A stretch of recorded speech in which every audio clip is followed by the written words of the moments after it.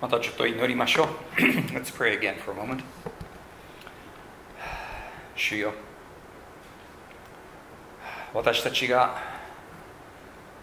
あなたの身胸に抱き上げれる抱き上げられると本当に全ての思い悩み全ての苦しみが消え去ります Heavenly Father, when we are drawn up in your arms close to your heart, all of our anxieties, all of our struggles just leave. 主よ私たちがいつもあなたと正しい関係を保てるように助けてください。Lord, help us always maintain a right relationship with you. 妨げになるもの一切捨ててあなたの海にすがりつきあなたの子供として日々歩めるように助けてください Help us to discard everything that gets in the way depend solely on you and walk daily as your children 今から私は語りますしかしそれは私自身の思い考えに過ぎなかったら何のためにもなりません Lord, if I'm, uh, I'm going to be speaking now, but if it's no more than my thoughts and ideas, it's of absolutely no use. だから主よこの器を清め用いて私を通して語りください So Lord, we ask that you would cleanse and use this vessel and speak through me そして私たち一人一人が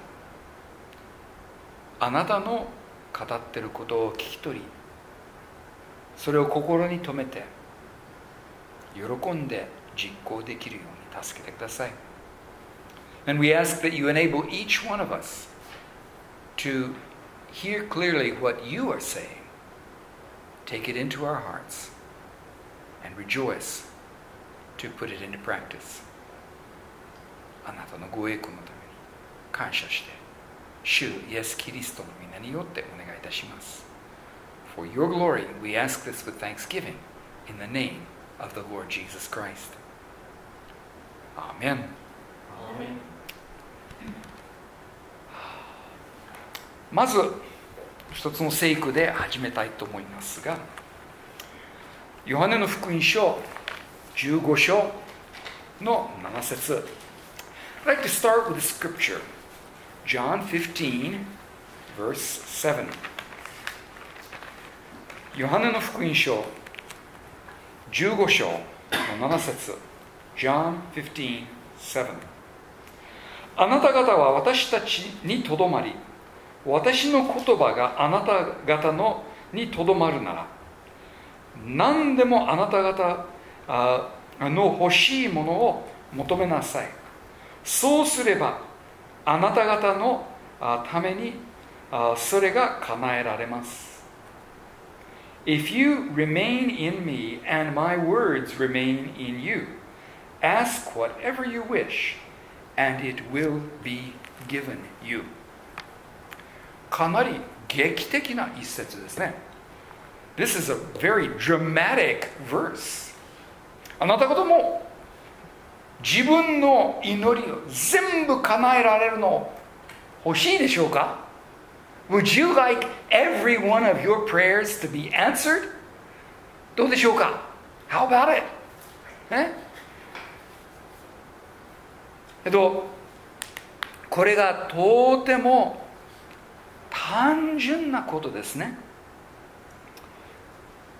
もう私にとどまり私の言葉があなたのにとどまるなら欲しいものなんでも、ね、叶えられるよ This is very, very simple. Said, if you remain in me and my words remain in you, whatever you want, Just ask, and it will be given to you. とても単純ですが、その贈り物をちゃんと全部開くのに一生かかりますね。Now that's very simple, but it takes our whole lives To unpack that. キリストにとどまることは何でしょうか ?What is it to remain in Christ? まず、キリストに入らなければならないんですね。To begin with, you've got to get into Him in the first place. キリストに入る、キリストのうちになるということが3つのことが必要です。There are three things necessary to enter into Christ. まず、悔い改め、そして信仰、そして告白。Those are repentance, faith, and confession. ローマ人への手紙あ10章の9節10節ちょっと見ましょう今のヨハネに指入れた方が無難と思いますけどねそこに戻りますから uh, Romans 10 verses 9 and 10 it might be good to leave a finger stuck in uh, John 15 because we're going to go back to that but uh, Romans 10 9 and 10ローマ人への手紙10章9節10節 Romans 10 9 and 10なぜならもしあなたの口でイエスが主と告白しあなたの心で神がイエスを死者の中からよみがえらせてくださったと信じるならあなたは救われるからです。人は心で信じてぎっと認められ口で告白して救われるのです。that if you confess with your mouth Jesus is Lord and believe in your heart that God raised him from the dead, you will be saved. For it is with your heart that you believe and are justified, and it is with your mouth that you confess and are saved. そうするなら、私たちがキリストのうちに入るのです。If we do that, we enter into Christ. しかし、私たちがとどまることを選ばなければならないんですね。But we have to choose to stay. 神様の力が私たちをそこに保ってくださいますが、私たちはその力をいただく選択もしかな選ばなけしなければならないんですね。Now, God's power will keep us there in Christ, in Christ, but we have to choose to accept that power. これが一度してしまってもう忘れてもいいというわけでもないんですよ。Now, this is not something we can do once and then forget. これいつも恐れ恐れ私は救われてるかどうかというわけではないんですよ。This is not something about always being afraid. Am I really saved? いいえ、気になってるなら救われてるよ。no, if you're worried about it, you're saved. しかし、 救いのことを当たり前にしてしまって逆に神様を無視してしまうのがそれが危ないんですね。But no, taking salvation for granted and then ignoring God, that's what's dangerous. 神様が真実で私たちが忠実ではないがこれが私たちを軽んじてもいいわけではありません。Now, God is faithful and we are not, but this is not something we can take lightly. 実は、イエス様がこれについてとても有力なヒントを与えてくださいます Now, Jesus gives us a very important hint, a very powerful hint about this. さっきのヨハネの福音書15章。今度10節見ましょう。Now let's go back to John 15. This time we'll look at verse 10. ヨハネの福音書、uh, 15章の10節 John 15, 10. もしあなた方が私の戒めを守るならあなた方は私の愛にとどまるのです。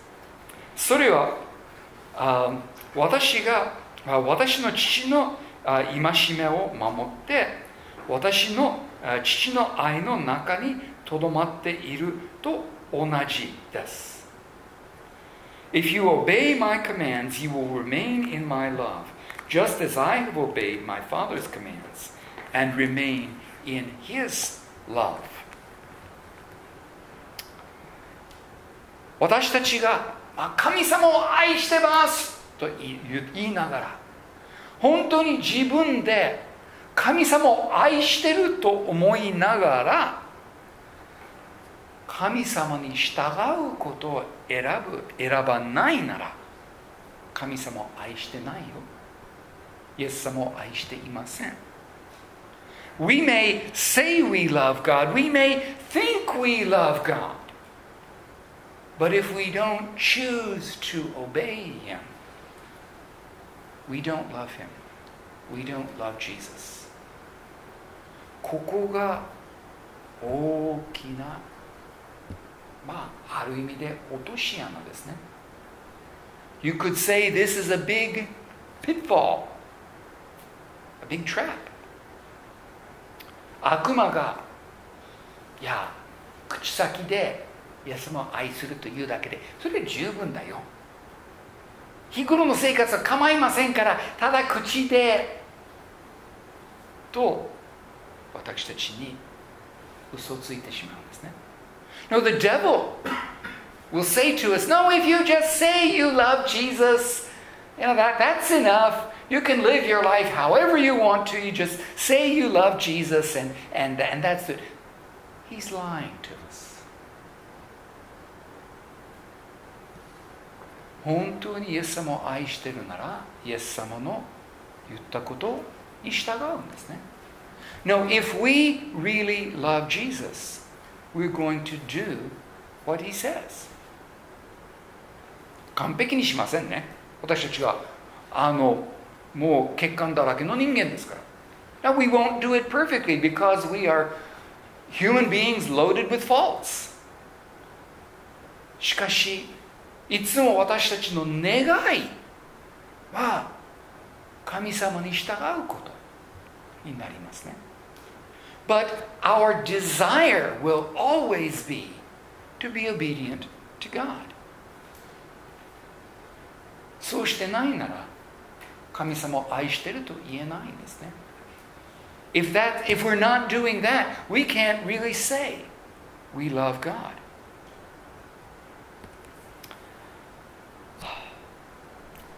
私たちの愛、神様への愛が私たちの信仰とよく似てるんですね。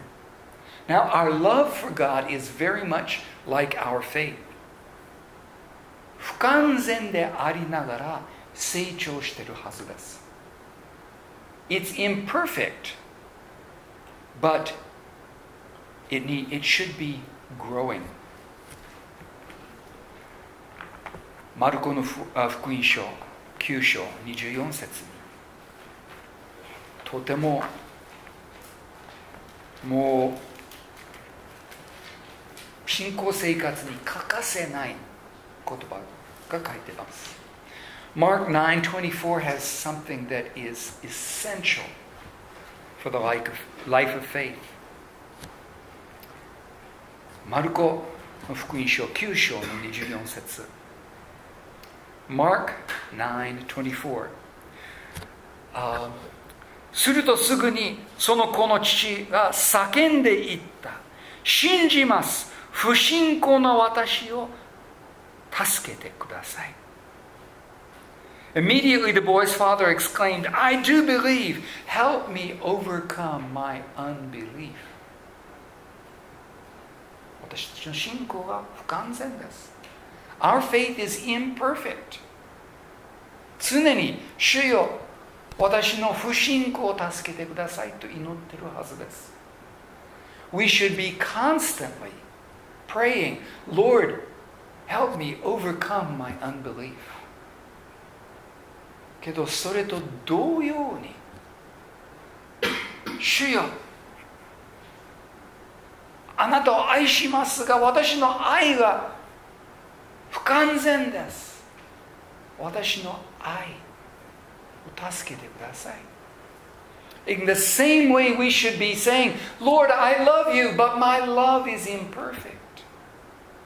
Help me Love you more. 私たちの元の聖句そのああヨハネ15章の7節にイエスはもう一つのことを言いましたんですねそのイエス様の言葉が私たちのうちにとどまらなければならない Jesus said one more thing in our root verse of John 15 7. He said, My, His words have to remain in us. これが物理的な記憶だけでないんですよ。This is not just physical memory. もう暗記して、もうそれが 簡単に引用できることあそれできるのは悪いわけでないんですけどそれ指してるわけでないんですよ This is not just talking about memorizing scripture and being able to quote it. Now, that's not a bad thing, but that's not what this is talking about. ヤコブ書1章22節 James 1:22ヤコブの手紙1章22節 James 1:22また、御言葉を実行する人になりなさい。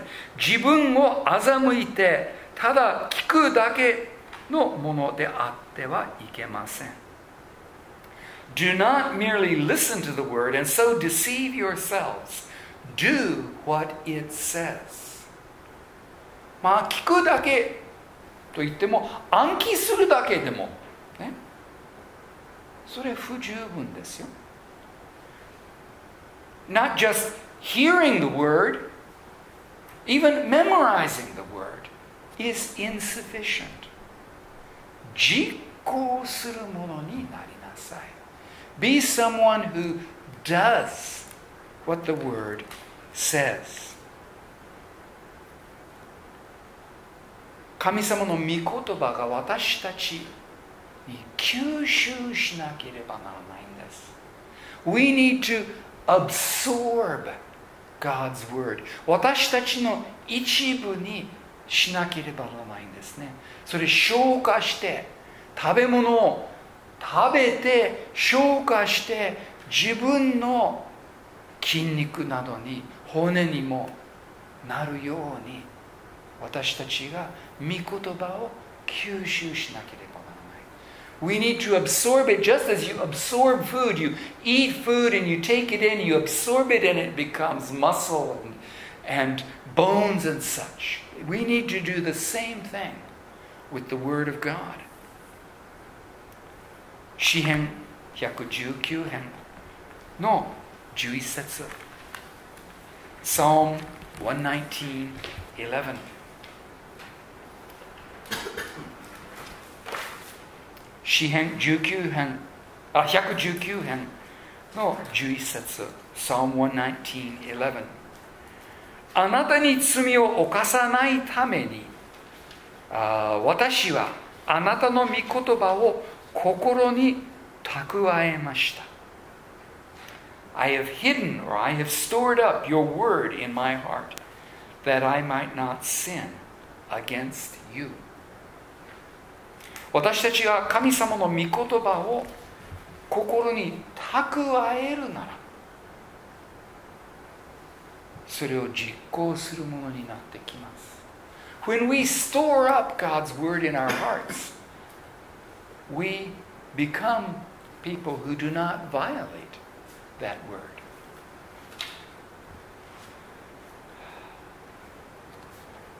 実は今日の題は神様との親しみですね。Today's title is Intimacy with God. 私たちの神様との関係は感情に立ってるなら崩れます。Today's if our relationship with God is based on emotion, then it will collapse. 感情が海の波のようなものです。高く上がってもキャーンと崩れます。Emotions are like the waves of the sea. They might rise up high, but they will collapse. 神様の御言葉が常世の岩ですねもう永遠に残るものです God's word is the rock of ages it holds true for eternity 私たちが祈りを叶え叶えてほしいなら私たちの祈ってるお方と調和しなければならないんですね。Now, if we want our prayers answered, we have to be in harmony with the one to whom we are praying. 神様との親しみですね。It's intimacy with God.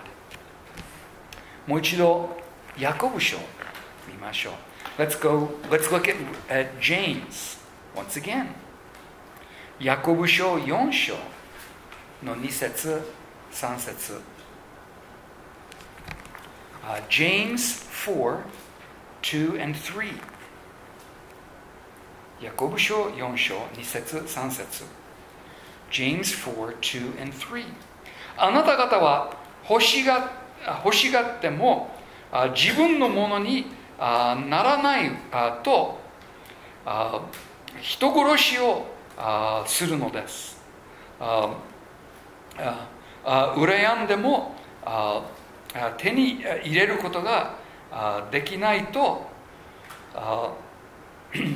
争ったり戦ったりするのです。あなた方のものにならないのはあなた方が願わないからです願ってもあ受け入れないのは自分のあ快楽のために使おうとしてあ悪い動機で願うからです You want something but don't get it. You kill and covet, but you cannot have what you want. You quarrel and fight.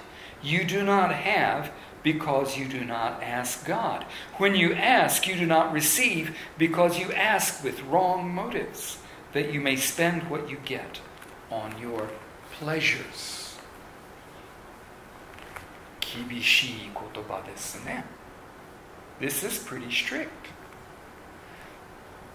多くの人がさっきのあヨハネ15の7節好きですね。 すぐ引用します何でも求めても与えられるから叶えられるからとね Lots of people like John 15 7 You can ask for anything, oh, and I'll, you'll be answered, I'll get it. Oh, wonderful. Yeah. ヨハネ15章7節引用しながら自分の欲望自分の快楽を動機にしてるならそれキリストにとどまってるわけないよ。Even if you quote John 15 7 if you're asking for things out of your own lusts for your own pleasures you are not abiding in Jesus イエス様が私たちに求めなさいと言うんですが私たちの第一に求めることがイエス様ご自身であるべきです Now we need to be now Jesus tells us to ask but our first desire should be him. 面白いことで私は今朝あの上松カトリック教会の6時15分のミサに行きました。今日の説教がまさにルカの福音書からだったんですけど求めなさい。そうすれば与えられる。ああ探しなさい。そうすれば見つかる。あ叩きなさい。そうすればあなたに開かれる。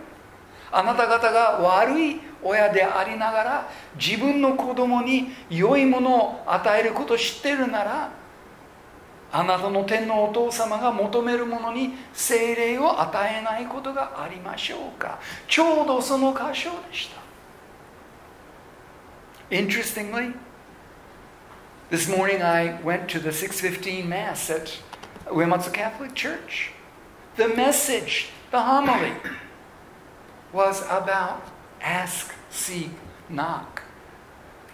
They were quoting from the passage in Luke. Just ask and it will be given to you. Seek and you will find. Knock and the door will be open to you. If you, though you are evil, know how to give good gifts to your children, how much more will your heavenly Father give the Holy Spirit to those who ask Him? 私たちが神様に求めるときにまず神様ご自身を求めるべきですね。When we ask of God, our first request should be more of Him. 神様が私たちと親しく交わるためにこそ私たちをお作りになりました God created us for intimacy with Him 私たちはそれを優先一にするなら神様の栄光の富が私たちの想像をはるかに超えた形で私たちに与えられるのです God created us for intimacy with Him.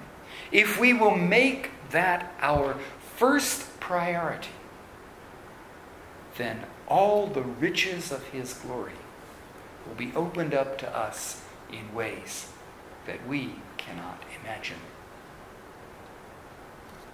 祈りましょう。Let's pray. 天のお父様私たちが祈っても叶えられないということでムカついて祈らなくなってしまうのがあまりに多いんです Heavenly Father it is all too common that we pray and our prayers don't get answered and we get ticked and we stop praying そんな愚かな私たちを許して助けてください Lord forgive help such foolish ones as we are 主よあなたが 私たちに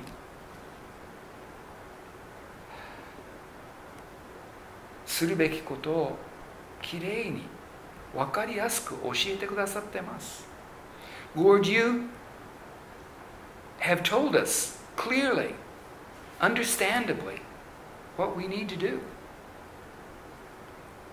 私たちがそれをごまかすごまかそうとするのではなくて、へり下って